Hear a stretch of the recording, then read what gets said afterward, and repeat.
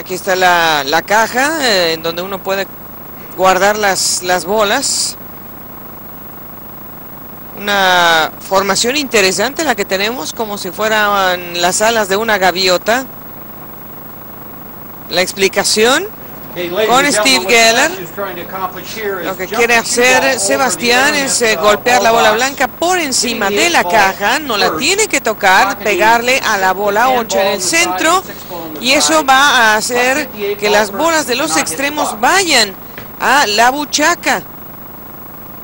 Las 6 y la 10 tienen que ir a la buchaca de los extremos.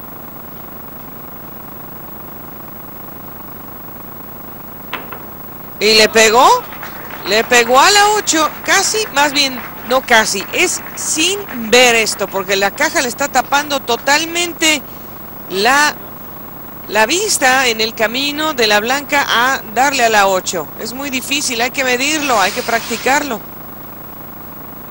Le pega exactamente a la 8, lo cual provoca la reacción en cadena y la 10 y la 6 se van a la buchaca.